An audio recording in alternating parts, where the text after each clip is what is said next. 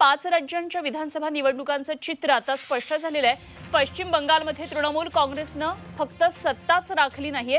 तर दोनशे पेक्षा अधिक जागा मिळून भाजपचे मनसुबे उधळून लावलेत. पश्चिम बंगालमध्ये भाजपनं आपली सर्व ताकद पणाला लावली होती. पंतप्रधान नरेंद्र मोदी गृहमंत्री अमित शहा भाजपचे अध्यक्ष जे पी नड्डा यांचे झंझावती दौरे पश्चिम बंगालमध्ये झाले होते. मात्र पदरी निराशा आली आहे. नंदीग्राममध्ये अत्यंत अटीतटीची लढत अगदी शेवटपर्यंत सुरू होती. शुभेंदू अधिकारी यांनी ममता बॅनर्जींचा पराभव केलेला आहे. तर इकडे तामिळनाडूमध्ये अपेक्षेप्रमाणे सत्तांतर झालेलं आहे. सत्ताधारी ए आय ए डी एमकेला धोबी पछाड देत स्टालिन यांच्या नेतृत्वाखाली डीएमकेनं बहुमत मिळवलेलं आहे. मुख्यमंत्री पी. विजयन यांच्या नेतृत्वाखाली डाव्यांनी केरळचा गड सलग दुसऱ्यांदा राखलाय.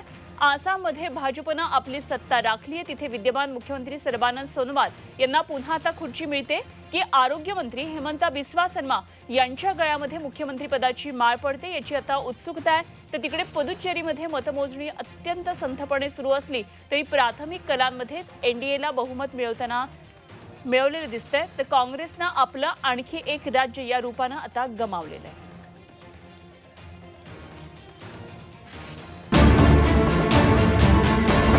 बातमी मागची बातमी. म्हणजे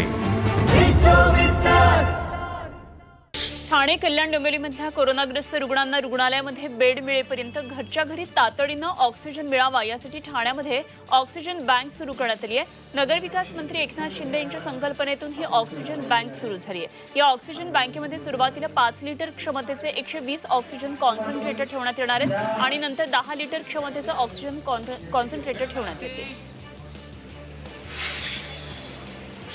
जळगाव जिल्ह्यामध्ये गेल्या चोवीस तासात नऊशे छत्तीस कोरोना बाधित रुग्ण आढळले. जिल्ह्यातल्या एकूण कोरोना बाधित रुग्णांची संख्या एक लाख बावीस हजार नऊशे चाळीस झाली आहे. गेल्या चोवीस तासामध्ये सोळा जणांचा कोरोनामुळे मृत्यू झाला एकूण कोरोनामुळे आतापर्यंत बावीसशे जणांचा मृत्यू झाला तर आतापर्यंत एक लाख दहा हजार दोनशे वीस रुग्ण हे कोरोनामुक्तही झाले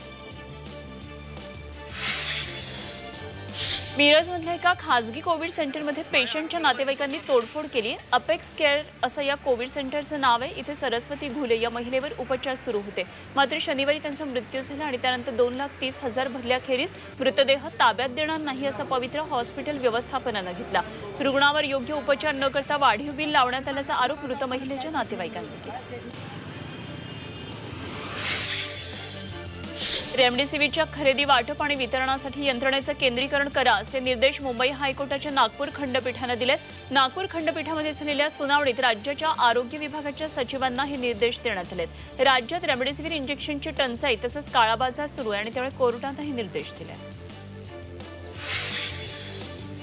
रेमडेसिवीर इंजेक्शनचा काळाबाजार करणाऱ्या पाच जणांना भंडारा शहरात अटक केली. यामध्ये रुग्णालयातल्या दोन परिचारकांचा समावेश आहे. यात नर्स तिघांना रेमडेसिवीर उपलब्ध करून देत होत्या आणि हे तिघे बाजारामध्ये जादा दरामध्ये इंजेक्शनची विक्री करत होते. या पाचही जणांकडून चार रेमडेसिवीर जप्त केल्या. विठू माऊलीचा गजर. म्हणजे